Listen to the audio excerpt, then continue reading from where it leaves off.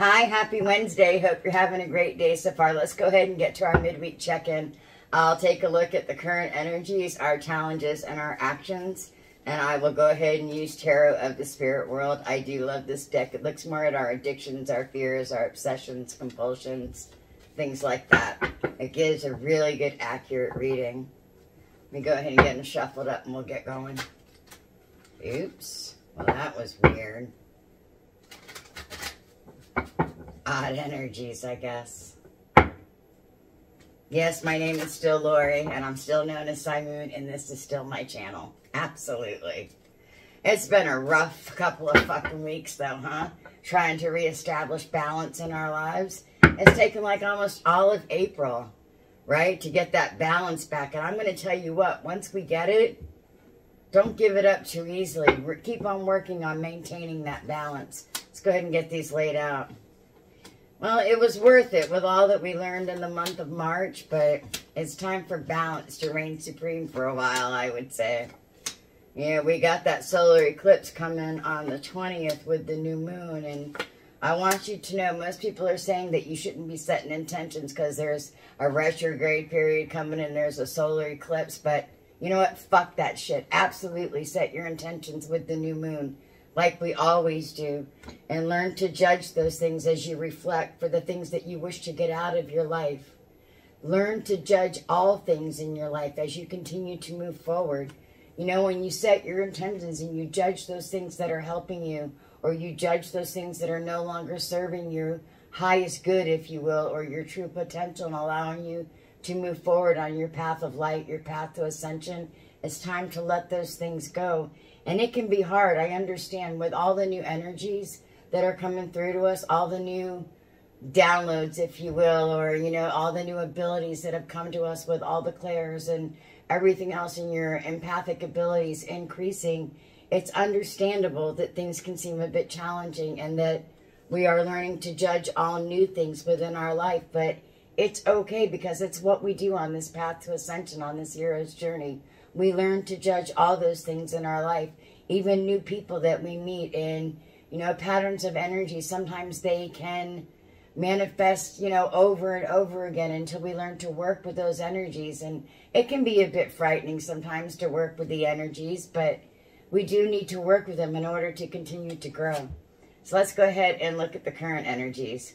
We have the Four of Swords, Spirit knowing that we're tired, but it's time to get up and begin again to continue to speak our truth from our heart of hearts, deep down where our angelic beings of light sometimes hide from fear of the world or fear from not being understood.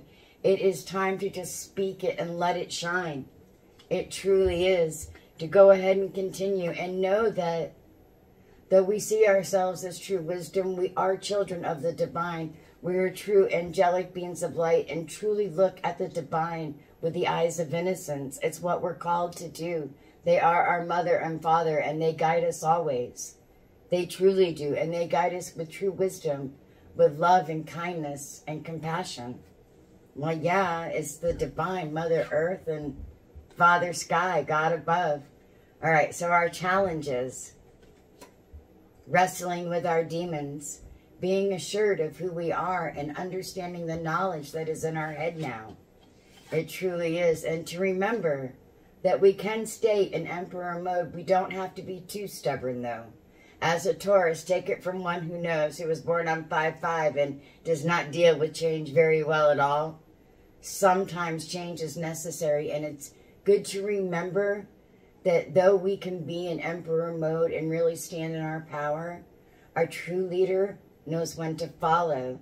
And that can be a challenge. It can, especially since we think we know it all, right? We're on this path to ascension. We have the empathic abilities. All the clairs are lit up. We think we got it all, but we don't. When you think you know it all, that's when you need to look deep inside the void again and learn who you are all over again because this is a continuous learning journey and we never have all the answers. We always remember that the teacher becomes the student and the student becomes the teacher. It is a give and take, a true energy exchange through all the people in your life. And it's time that you learn to work with it a little bit more and accept those in your life that are here now, willing to help you understand what it is that you're going through. You know, and it can be a challenge to think that we need somebody else within our life. But let's go ahead and take a look at our actions.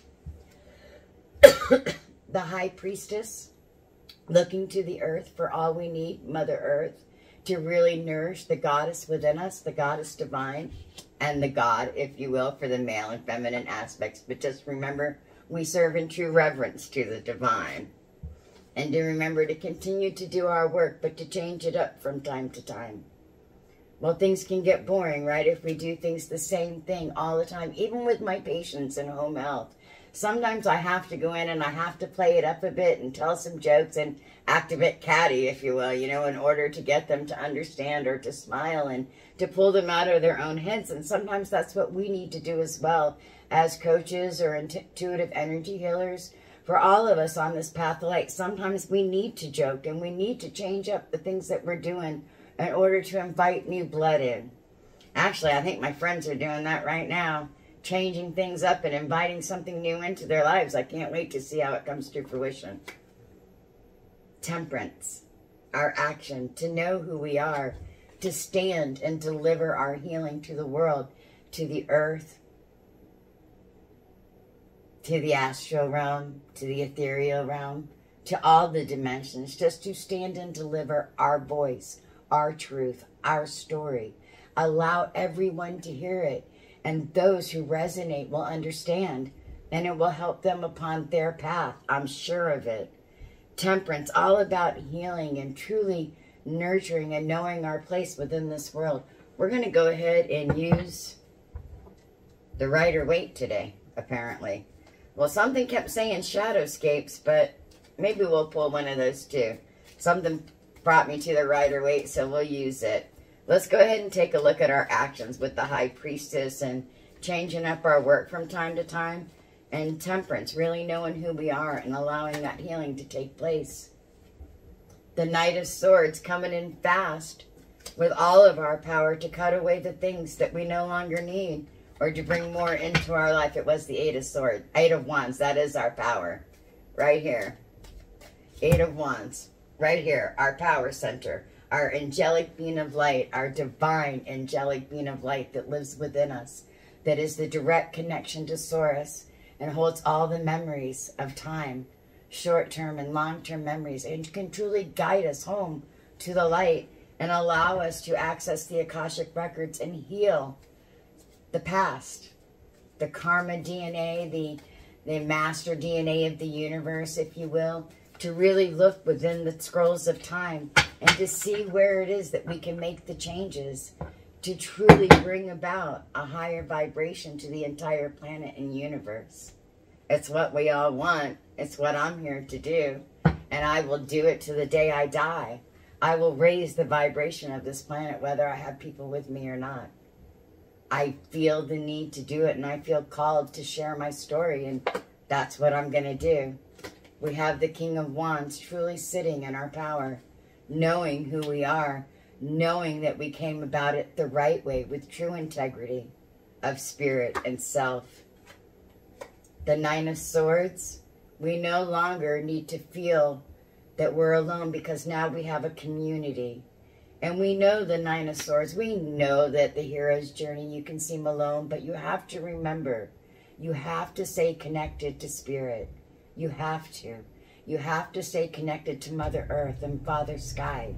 They are what ground us and they are what guide us to connect to that collective consciousness, to truly reach out to our brothers and sisters and kindred spirits and soulmates, if you will, to truly understand that spiritual exchange of energy that is all love and kindness and compassion that leads us to our Nine of Cups.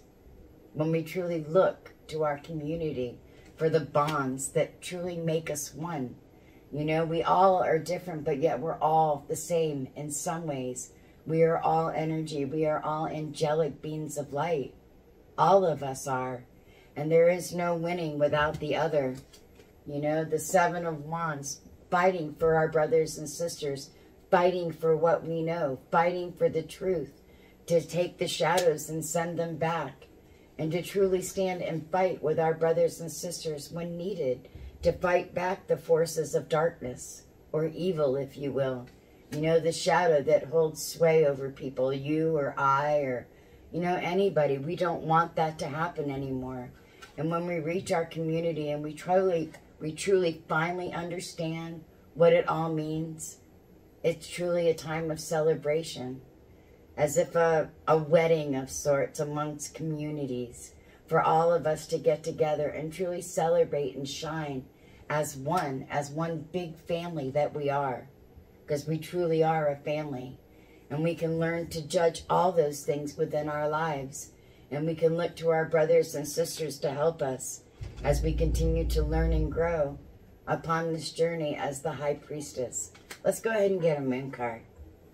Yeah, it's all about doing our work and remaining faithful and remembering to reach out to the community because your healing that and your story can also help the community of brothers and sisters that you have within your life. Nobody's story is exactly the same, but our stories and what we've been through and how we've overcome and how we hold true truly can help others within our life, within the community. When they hear the story and they're like, well, shit, if they can, maybe I can too. It works.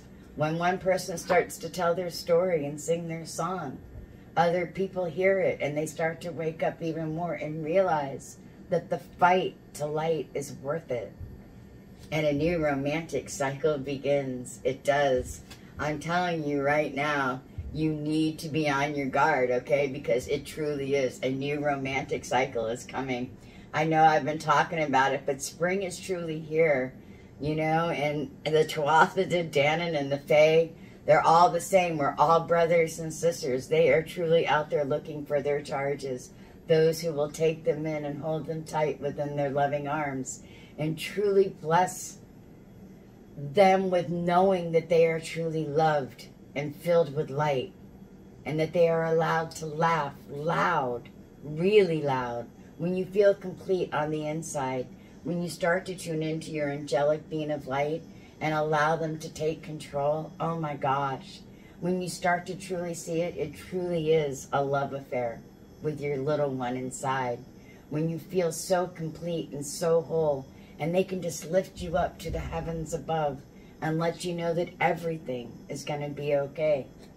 It's a glorious thing. I have a group for it on Facebook called um, Spiritual Alchemy, and I welcome you to join it. I'll put a link down in the description.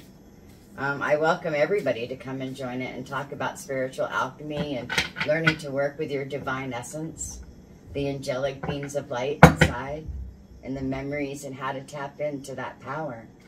It's a glorious thing. The more the better, I say. The divine fruit. As I work to improve and free myself, I strengthen my foundations. My intellect is light, my heart is warmth, and my soul is strength. I am nurtured by the divine sun. The fruit I bear reflects my inner light. And I pray it always does, and I pray that yours does as well just remember on this path to light, this path to ascension, this journey, this hero's journey, if you will, when you pick up your quest for life, to truly live it and be bold and beautiful and make moves that you wouldn't normally make as you listen to life. I am attentive to the world around me. Signs and symbols guide me to success. I listen and discover the way to the eternal and we do. And we all always need to listen. And we need to remember to tune into that collective consciousness and travel to the 5D, to the astral realm, and truly understand the ethereal space that is between us and how we can truly reach out through it and work with the energies and bring love to those within our life and to bring that back into our lives as we learn to work with the energies in all the dimensions of this life. All right, bright blessings to you always. I wish you the best of weeks, I truly do. And don't forget, I will have the weekend check-in for us for the weekend. All right, bright blessings to you always. I wish you the very best. Namaste. Bye-bye.